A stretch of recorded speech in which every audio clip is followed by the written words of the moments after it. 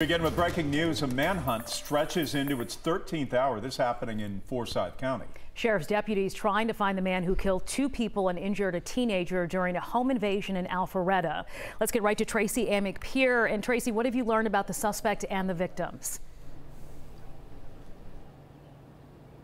Well, the sheriff's office says this all started at around 5 o'clock this morning. That's when they believe that Juan Escalante Alarcon broke into this house behind me on Tidwell Circle. They say that he then proceeded to shoot and kill two men 21 year old Giovanni Cruz and 35 year old Ivan Cordero. Now, investigators say he also shot a 17 year old in the foot. First responders took the teen to the hospital. Now, we spoke with the father of Ivan Cordero, who tells us both victims worked together in construction and lived at this house. The sheriff's office says they believe Alarcon is the same man who broke into this same house just last month, and they say there were already active warrants out for his arrest. Now, let's take one more look at the man that the sheriff's office is looking for right now.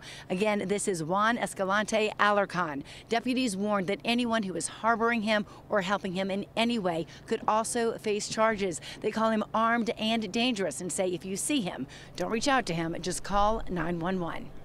All right, Tracy, thank you. And we will bring you the latest details about the search as soon as we get them. Even if we're not on the air, we'll post it online. Download the 11 Alive app for your phone or visit 11alive.com.